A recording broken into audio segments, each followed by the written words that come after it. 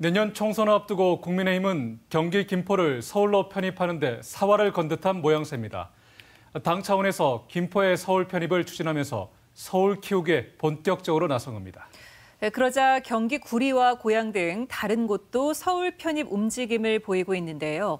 네, 가뜩이나 수도권 집중화가 심각한 상황에 지방 소멸을 앞당기는 것은 아닌지 우려가 커지고 있습니다. 보도에 권윤수 기자입니다.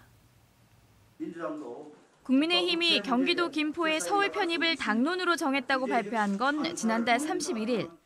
김포는 서울시로 편입하는 것이 그 지역 주민들을 위해서 바람직하다고 결론을 내렸고 그래서 당론으로 추진하기로 했습니다.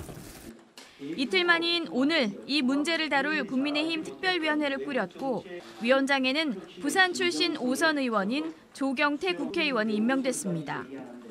그러자 경기도 구리시도 시장이 직접 나서서 서울로 편입을 추진하겠다고 밝혔습니다. 여기에 고양시도 서울 편입 의지를 보이고 있습니다.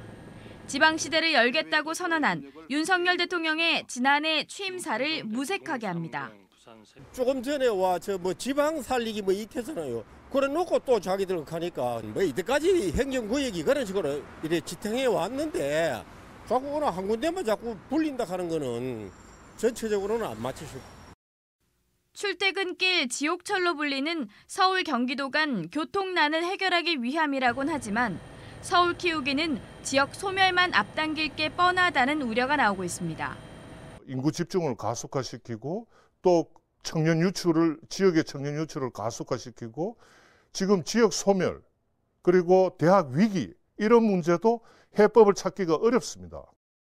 지방 분권운동 대구경북본부는 이른바 메가시티 정책을 서울에 접목할 게 아니라 영남권, 호남권 등에 먼저 실현해 수도권 집중을 완화해야 한다고 지적했습니다.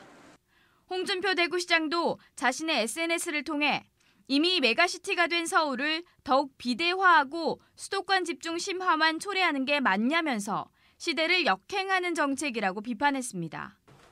이런 가운데 대통령 직속 지방시대위원회는 어제 수도권 이외 각 지역을 기회발전, 교육자유, 도심융합, 문화특구 등 4대 특구로 정해 세제 혜택을 주는 안을 발표했습니다.